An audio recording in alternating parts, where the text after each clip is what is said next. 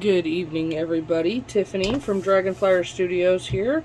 I'm going to do a flip through on this wonderful, wonderful finished journal that I just got done.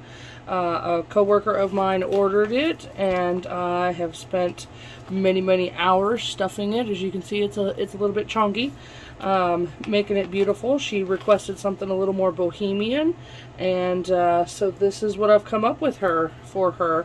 And so I'm just going to do a flip through and kind of run you through some of the things that I did, and maybe you'll get some inspiration for journals of your own. Um, it does have a cloth cover. I created uh, the the book. I created the whole thing from well, from junk. Uh, there's recycled materials in here, and then this is just a plain cotton fabric that I used for, for wrapping. It only has one signature on the inside, and then the ribbon is attached on the outside, and it is, uh, the lace rather, is its enclosure, uh, or for its enclosure. I created a little bookmark for her. She can either use it in this journal or in reading. Um, it's got a glass stone on the outside of it. I did give it some some spine jewelry or some spine dangles, whatever you'd like to call them. There's one here on the bottom. It's just some recycled jewelry that I found, I think, at a thrift store. And then on the top, uh, the signatures are bound with wax uh, twine, wax-coated twine. So where they're tied on the inside, I brought it out the top, and I just added some glass beads. All right, let's untie it and see what's inside. I had a lot of fun making this. It's my first first journal. It's my first order through my through my studios, and um, yeah, I'm looking looking forward to making quite a bit more of these. So let's just open it up here. So on the inside, I've got some very uh, shabby chic um, paneling uh, just with some lace attached. And then I did some stamps. She's She loves daisies. So I created some a journaling card with a little pocket tuck here. Um, journal space, journal space. I've got some lace edging on this page. More journal space, a place to write here with some butterfly stickers. And this was just a print that I found online, so I printed it off. Um, I did use an envelope uh, for this. I flipped the envelope inside out so that the uh, privacy setting stuff for privacy covering was on the outside. It did have a window, so I just attached a picture of some daisies in a vase. And gave it a nifty little frame. I just have some blank paper uh, folded up on the inside that, that the user can use for whatever, decorate it with or whatnot. There's two pages in there. And then over here I gave it a little corner tuck with some yellow to go along with the daisy theme. And another little note card for whatever she would like. Um, this is a decorated paper clip with a, a side fold card. It's got a stamp on the side just with a little tassel. And then this is just more journaling space on a blank page. And it just clips onto the side. So not only is it utilitarian, but also a little bit, little bit pretty. There we go, there's that. And then there's just a sticker with some saying. Uh, more journaling space or space for photographs or whatnot. This is a journaling card that I used photo tags to attach so she could write here or she could write here. And again, daisies. Uh, that's what the the buyer or the purchaser requested. So that's what that's the theme I went with and I just found some some images from a couple of free sites that I use and printed those off. This was not this difficult to get in here the first time I did it.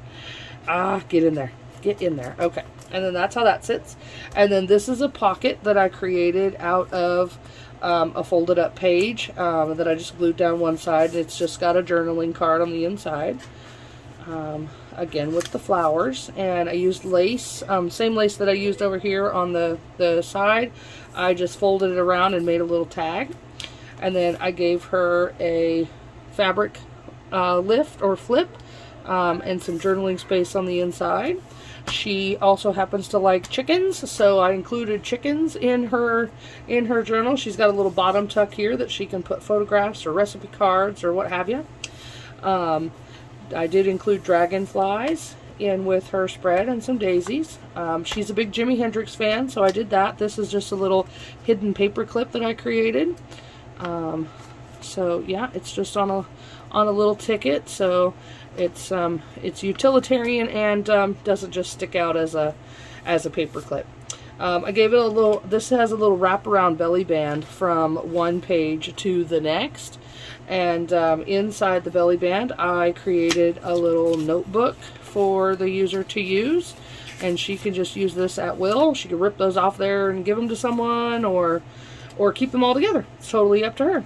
And then on this side, there's just another little note card that I created. Uh, pink and purple are some of her favorite colors, so I tried to incorporate those vintage notebook page just for writing. This is a coffee dyed um, coffee filter and a little paper lace doily. And then she's got, I created another um, decorative paper clip over here. It also has a dangle on it. Um, it just has this little cloth flower on both sides. And again, she likes chickens. Just a little blank card for writing. And then I included some purple daisies and some sunflowers. This just clips on there to keep it in place. There we go. And then she requested tiger lilies. So what I created here is a writing board. This is the cover from a 1920 piece of jazz music and then I printed off this beautiful picture of a tiger lily so this kind of gives the user something you can put this underneath a page to write on because our junk journals get though they're chunky and they're bumpy and they're lumpy and you know as they should be and so this just gives the writer it's a it's pretty thick um, it can just be stored right in the journal I used a piece of measuring tape as a tab and I just left these pages open they were too pretty to cover up with stuff um, more journaling space. Here's the other side of that vintage music paper. Um, I created a fold-out envelope flap um, and tucked a little few little cards in there for journaling for her. And they can be stored in there or placed in other places in the journal. Once it's once it's hers, it's hers to do with as she wants to. And I left these blank. I was going to stamp on them, but I thought, you know, let's let's give her some space to write. And then we flip it over, and we have this little card that pulls out here. And then this is another hidden paper clip that I just folded over a, a sunflower on.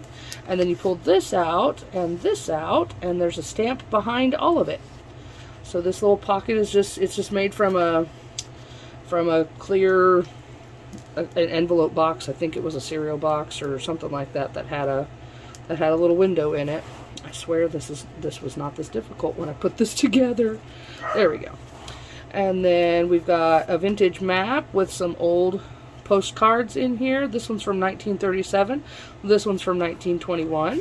Thought those might be fun for her to look at and to have. And then more vintage map. I've got some old stamps here. And then I just put a little sticker stamp on the other side. Journaling space. Journaling space. Here's the other side of that card folded in half, and I just gave her a little journaling card in here, and um, and some love. Everybody needs some love. Um, journaling page. This is a fold down pocket again with her with her chickens on it, and um, this is Jimi Hendrix in the back, and this is a wonderful saying. I'm not going to show you that because that's kind of for her.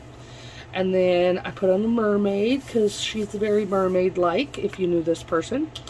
And um, this is just a pocket with a journaling card in it.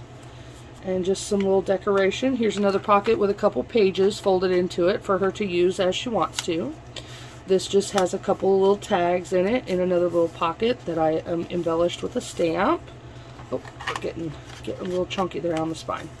And then journaling page, little girl holding some purple flowers, journaling page.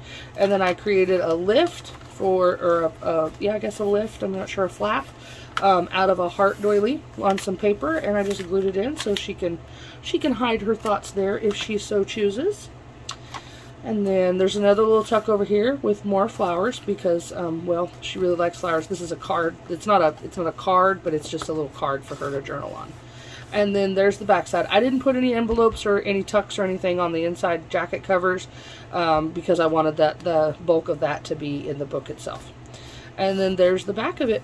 So yeah, I'm going to give this to her tomorrow and hopefully she loves it. And um, if she uses it, great. If she puts it on a shelf and just has it, then that's great too. Thank you for watching. If you'd like to see more, I am going to do a tutorial on all of the things that you see in here. Um, if you're just getting starting, if you're started, if you're, you're new to all of this and you want to learn Um, you can come craft with me. I do post videos quite often. I'm hoping to get on a much more regular schedule with that. So yeah, if you wanna if you want to see more and, and be around for the fun stuff, then hit that subscribe button, give me a like, give me a share. Thanks for watching. Until next time, bye.